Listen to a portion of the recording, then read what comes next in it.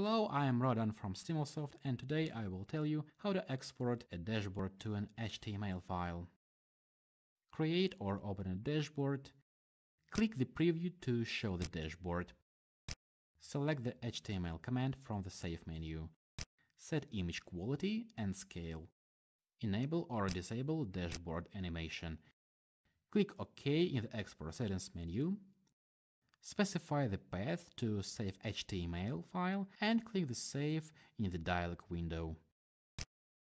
Also, you can export a dashboard element to an HTML file. Select the HTML command from the Save menu of the dashboard element, which needs to be converted to an HTML file. Thank you for your attention, subscribe please to our channel, if you have any questions leave comments on this video. Goodbye.